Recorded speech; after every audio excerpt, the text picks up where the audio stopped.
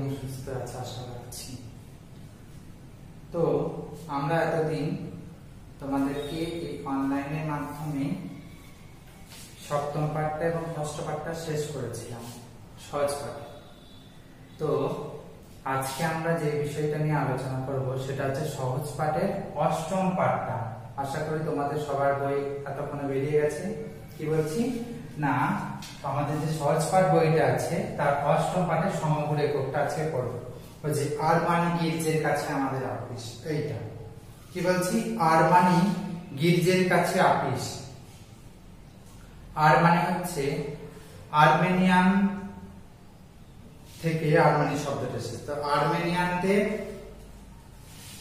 প্রতিষ্ঠা করা একটা গির্জার নাম অনুযায়ী হচ্ছে আর্মেনি, আরমানি। তো গির্জা কি? আমরা বিভিন্ন ধর্মের মানুষ এই পৃথিবীতে বাস করছি। আমাদের চারিদিকে বিভিন্ন ধর্মের মানুষ আছে। কিন্তু যদি আমরা ধর্মটাকে নিজেরাই সৃষ্টি করেছি, কিন্তু আমাদের একটাই ধর্ম হওয়া উচিত, যেটা শিক্ষণীয়, সেটা হচ্ছে মানবতা বা মনুষ্যত্বই হলো আমাদের ধর্ম। তো এখানে যারা খ্রিস্টান, আমরা যেমন হিন্দুদের উপাসনার জায়গা হচ্ছে মন্দির ইসলাম ধর্মের যারা অর্থাৎ মুসলিমদের উপাসনার জায়গা হচ্ছে মসজিদ, তেমনি যারা খ্রিস্টান, যারা যীশু খ্রিস্টের উপাসক, তাদেরকে বলা হয় খ্রিস্টান। এই খ্রিস্টানদের উপাসনার জায়গা হচ্ছে গির্জা। তাহলে গির্জাটা কোথায় না আর মানে গির্জের কাছে আপিস? আপিস মানে হচ্ছে কার্যালয় বা যেখানে কাজ করা অফিস বলি না, সেটাই রবি ঠাকুর আপিস বলেছেন তাহলে আর্মেনিয়াদের তারা প্রতিষ্ঠিত বা নির্মিত গির্জা হচ্ছে আর্মানি গির্জা। তাহলে গির্জা শব্দের অর্থটা কি বললাম? অনেক নতুন শব্দের আমরা অর্থ আগেও পেয়েছি, আবার পাবো, নতুন নতুন যুক্ত বর্ণ আমরা শিখব। তাহলে গির্জা। গির্জা। গির্জা শব্দের অর্থটা কি বলছি? খ্রিস্টানদের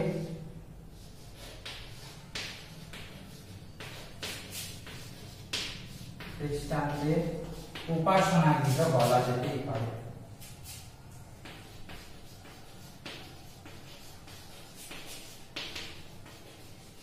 গৃহ শব্দ হচ্ছে বাড়ি বা মন্দির যাই হোক। আপিস। আপিস। মানে হচ্ছে কার্যালয় যাকে আমরা অফিস বলি ইংরেজিতে। কার্যালয় যেখানে আমরা কাজ করি। তাহলে আর মানে গির্জের কাছে আপিস? যাওয়া মুশকিল হবে। পূর্ণচ্ছেদের পরে কি বলেছে যাওয়া মুশকিল হবে। তাহলে আপিস যাওয়াটা মুশকিল হবে। আপিসটা কোথায় আছে না আর মানে গির্জার কাছে?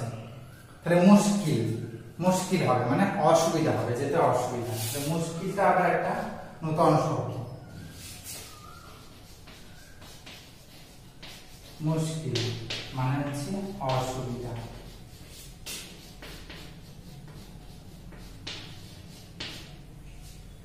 এটা একটা পেলাম পূর্ব দিকে মেঘ ইস্পাতের মতো কালো।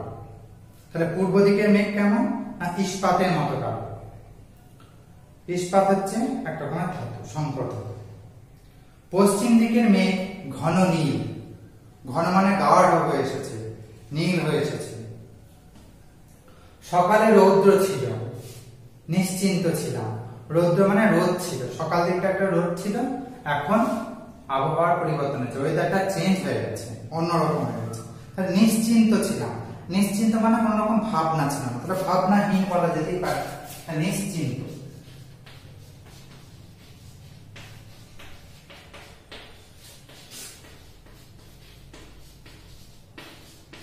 চিন্তাহীন বা ভাবনাহীন, যেটা বলব। দেখতে দেখতে বিস্তর মেঘ জমেছে। কিছুক্ষণ দেখতে দেখতে বিস্তর মানে অনেক মেঘ জমে গেছে বিস্তর মানে অনেক। যুক্ত বর্ণ দেখো অনেক রকম, অনেক। তোমরা এর মধ্যে অনেক যুক্ত বর্ণ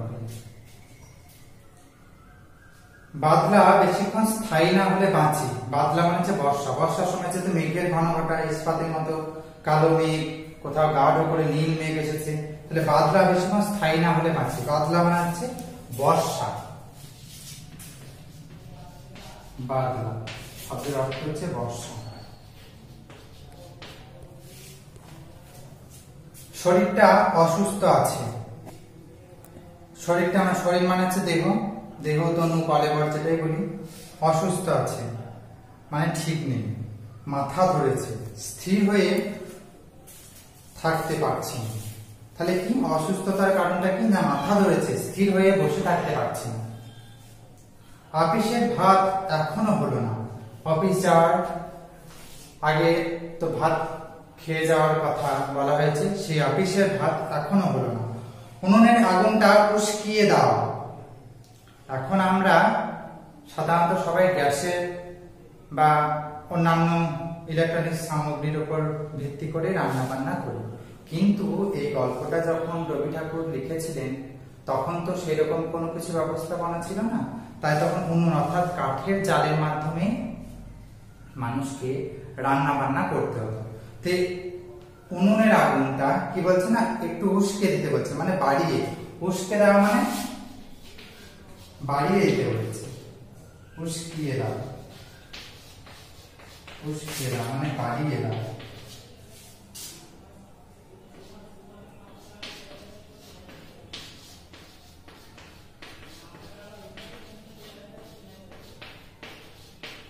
বাড়িয়ে দাও ঠাকুর, আমার ঝোলে যেন লঙ্কা না দেয়। ঠাকুর ঠাকুর অর্থে আমরা দুটো জিনিসকে জানি একটা হচ্ছে ঠাকুর অর্থে দেবতাকে মানি, কিন্তু এখানে যে ঠাকুরের কথা বলা হয়েছে, সেটা হচ্ছে রাঁধুনি। তাহলে এই জায়গায় যে ঠাকুর শব্দটা ব্যবহার করছে, সেটা হচ্ছে রাঁধুনি। রাঁধুনিকে আমরা অনেক সময় বলি না, রান্না ঠাকুর। বিভিন্ন ভোজে কাজে যে সমস্ত রান্নাগুলো, বাইরের কোন একটা লোককে মাইনে ধার্য করার পরে রান্না বান্না করে দেয়, তাকে বলা হয় ঠাকুর। তাহলে এই ক্ষেত্রে ঠাকুর মানে হচ্ছে রাঁধুনি। এই জায়গাটা নিচ্ছি ঠাকুর। ঠাকুর একটা শব্দ হচ্ছে দেবতা, ওটা আমরা সবাই জানি, একটা নূতন শব্দ জানলাম। সেটা হচ্ছে রাঁধুনি।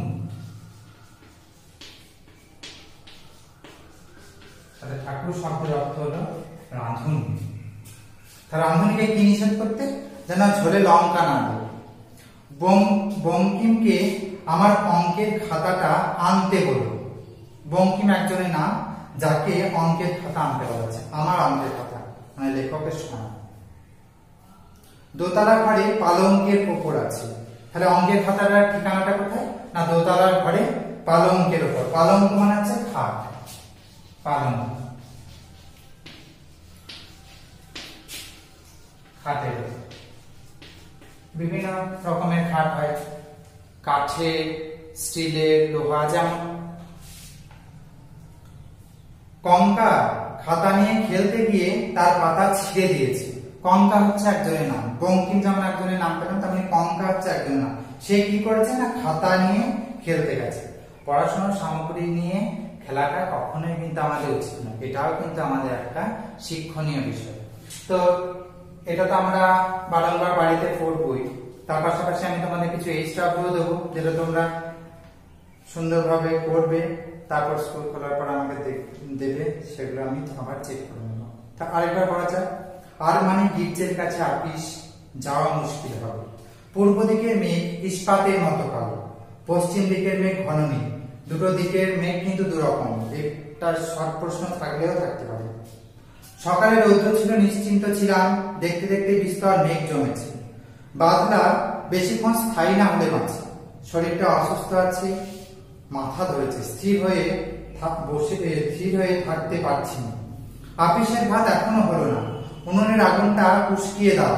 ঠাকুর, আমার ঝোলে যেন লঙ্কা না দেয়। বঙ্কিমকে আমার অঙ্কের খাতাটা আনতে বলো দোতলা ঘরে পালঙ্কের উপর আছে।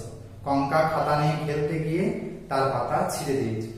এইটুকু করা তোমাদের অবশ্যই থাকবে, বাড়িতে ভালোভাবে থাকবে, সাবধানে থাকবে, সুস্থ থাকবে এবং পড়াটা সুন্দরভাবে তৈরি করে বারংবার অনুশীলনের মাধ্যমে তৈরি করবে, ঠিক আছে?